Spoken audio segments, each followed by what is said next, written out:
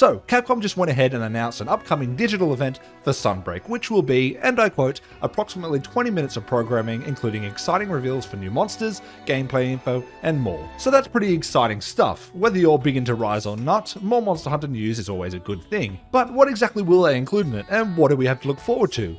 Who knows really, but I have some spicy predictions that I want to go ahead and throw out there and we will see if any of them stick. I don't know if there's any leaks doing the rounds, but I haven't seen them, so here are 7 predictions for the Monster Hunter digital event. Number 1. The return of an unexpected monster. Rise already set a precedent for bringing back weird choices of monsters whilst omitting some fan favourites, and I reckon Sunbreak will probably continue this trend. We saw Khezu, Puke Puke, and Jyuratodus in the base game, which are monsters I wouldn't exactly call fan favorites, so I'm going to go ahead and say we will be seeing an old face once again. To be more precise, I think they will bring back the Nibelsnarf and the Gobul to feature in the sandy plains and the flooded forest. Number 2, a brand new monster based on the concept of Dr. Jekyll and Mr. Hyde.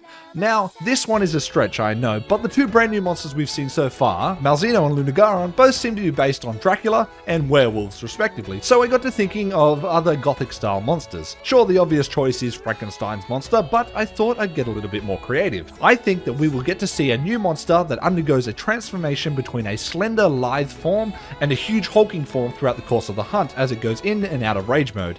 Yes, I realize it's a little reminiscent of the Deviljho, but similarity in design hasn't stopped them before. If I had to guess, I'd say it would be a flying wyvern that sort of changes into a pseudo wyvern, using its wings to attack when it changes form. Number 3, a new redone version of a third generation map. This one is probably a pretty safe bet already because, well, Base Rise has two revisited maps in the form of the Flooded Forest and the Sandy Plains, both of which were introduced in Monster Hunter Tri. Lunagaron's teaser trailer also shows it in what could definitely be the third gen Tundra, because it certainly doesn't look like the Frost Islands, but I personally would love to see the Deserted Island make a return with the winding cave system and the Wyvern's Nest towering high above the ocean in a more open setting. Number 4, brand new Silkbind attacks and switch skills. I think this might have already been confirmed to be on its way, but I reckon this trailer is going to really give us a deep dive into what we can expect when Sunbreak finally launches. This one's a bit of a gimme, sure, but this is my prediction list, so I do what I want. During the event, we will get to see one new Silkbind attack for each weapon, as well as a few switch skills here and there. Number 5, more details on Malzeno, including a brand new blood-based mechanic.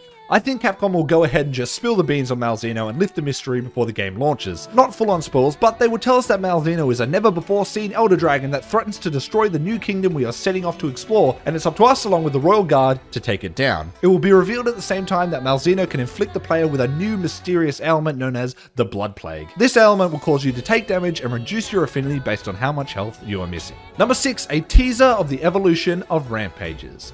With Rampages firmly established as a core part of Rise, think they will only evolve in the future. As we get to enter into Master Rank and the story progresses past the Ibushi and Narwa stuff from the base game, we will be introduced to Royal Rampages. These will take place in a more medieval style map in the New Kingdom, and they will seek to fine tune the relatively disjointed rampages that we've been taking part in up until this point. They will keep the same general gameplay style, but will improve the monster AI and player interactivity, seeking to make them less of just this jumbled mess. And finally, number 7, one last teaser for a fan requested returning monster. Capcom did this in the lead up to Iceborne, as the trailer came to a close a brief snippet of something followed by a monster's roar as the screen fades to black. The final clip will show lava oozing from the ceiling of the lava caverns and pause for just a moment. Slight tremors will begin and small parts of the ceiling will begin to fall away before it erupts in magma.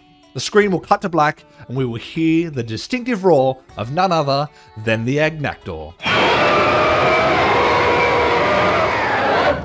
Ready to return in full force after it was done so dirty in the base game when the Uroktors were included without their parents. And so there you have it, my predictions for what we can expect in the upcoming Monster Hunter digital event for Sunbreak. These are not leaks, these are not spoilers, these are just guesses. And I wonder if we will actually get any of them right. I'll most probably be reacting live on Twitter, so follow me over at PeakGinge. But that being said, I'm yet to check what time it's on for me here in Australia, but it's usually at like 2am or something, so I wonder if I'll be awake.